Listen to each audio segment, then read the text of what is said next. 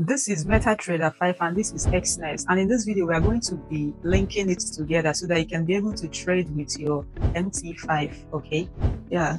I'll just get my phone right here so that you see my screen exactly how you can do it.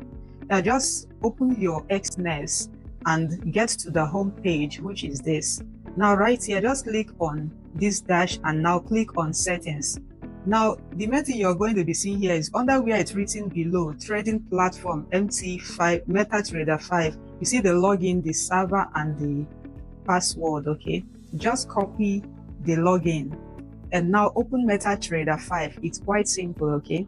Now, when you open to MetaTrader 5, you see the quote, the charts, the trade, the history, the messages, and all that. But what you're simply here for is to go ahead and connect these two accounts together. So right here in this page, what you just do is to click on the plus icon above. And now you go ahead and click where they wrote find broker, type Exness Technologies. So at the point of even typing it, you're going to see it pop up, Exness Tech. Yeah, you click on it, Exness Technologies Limited. Now you see right here, there is the login, there is password, there is server. Now the login here is the code you copied from your Exness.